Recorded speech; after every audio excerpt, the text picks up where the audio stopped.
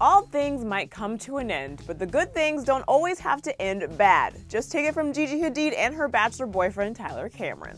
What's up, you guys? It's Drew Dorsey back here on Clevver News, and let's just give a big round of applause for the least messy breakups in all of Hollywood Gigi Hadid and Tyler Cameron, and Demi Lovato and Mike Johnson.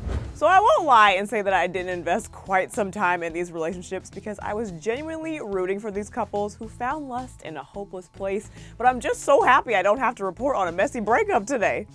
Let me first start with discussing Tyler Cameron and Gigi Hadid's breakup. Tyler, being the perfectly mannered, respectful gentleman that he is, I guess, because I don't know him, confirmed that he and Gigi have gone their separate ways and didn't miss an opportunity to gush about her in the process. He caught up with People TV's Reality Check Monday and revealed, just meeting someone that was great. She's a great person and I met a great friend. She's someone that I have a lot of respect for and think highly of, so I met a great person. He also gave us some insight on why the two decided to end things, which he also mentioned was amicable. He said, quote, I took it as I met a great person, a great friend. It wasn't like a bad breakup or anything like that. It was just, we're at different parts of our lives right now.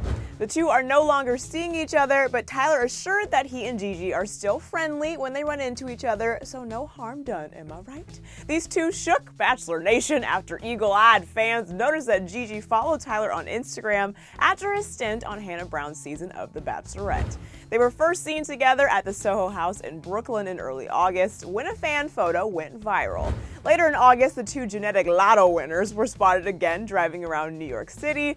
Mind you, Gigi was driving while Tyler was napping in the passenger seat. Very progressive. They were also spotted going into her apartment in the wee hours of the night. Girl? But it was early September when Tyler made the ultimate boyfriendy move and accompanied Gigi to her grandmother's funeral. Talk about some serious vulnerability. Unfortunately, the funeral was the last time the two were seen together, but it's comforting to know that he'll always have her back. Tyler also opened up to the outlet about continuing to work on himself and that he's learning so much about himself every day. He added, I'm still learning so much about myself every day. Being in this light is totally different, so I'm still learning. As for the future, Tyler has now had experience with dating someone in the public eye and wouldn't mind putting himself in that position again. He said, I'm open to dating anybody, public eye or not, adding just in the right time. Tyler is also keeping the support going while his ex bachelorette girlfriend, Hannah Brown, is busy competing on Dancing with the Stars.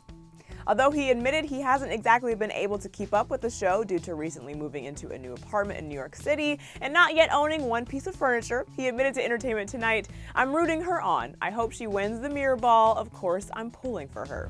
Okay, someone give this man a television set and maybe a cable subscription. Stat.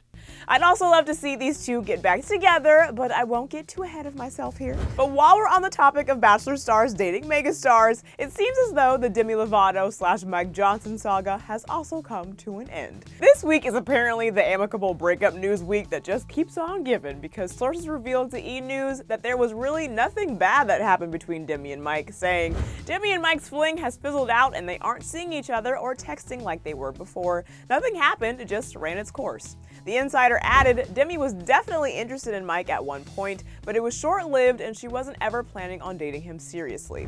Mike, on the other hand, might have different future plans. The Bachelorette star is allegedly really optimistic in reconciling with Demi in the future. Mike hopes they can have a second chance again, but for now, he's fine with being friendly. A source told E! News, quote, Mike hopes they can have a second chance again, but for now, he's fine with being friendly. Mike confirmed that the two went on multiple dates together and were having a good time getting to know each other, but that things were still in the early stages. It wasn't until a few weeks later when Mike asked out Keke Palmer on national television. I was I made a mistake. I don't like dating in public, but if I were to ask you if we can go on a date began pegging him as fame thirsty and noted that he stated just weeks ago that he was seeing Demi and only Demi. Keke's face basically said it all and was literally all of us at the time when she responded with, What's the next question? What's the next question? Mike was immediately forced to do a little backtracking, probably with the help of his publicist, and later vowed to remain tight lipped about his private life from here on out. Probably a smart move, my man. Neither Demi nor Mike have yet to comment on their short lived romance, but it seems these two are both doing just fine because did you see Demi's Halloween fits over the weekend? Girl isn't playing this Halloween and has already dressed up twice while even hosting her own party at the Hyde nightclub in LA. Just had to point that out because her costumes gave me life while I stuffed my mouth with three musketeers on my couch. Anyway, enough for me. I gotta hear all your thoughts on Tyler and Gigi's amicable split, as well as Demi and Do you think either of these ex couples has potential to reconcile? Get to talking down here in the comments, and don't forget to subscribe and click that bell so you never miss an update. Then click right over here for even more news. Thanks so much for watching. I'm your host, Drew Dorsey, and I'll see you next time.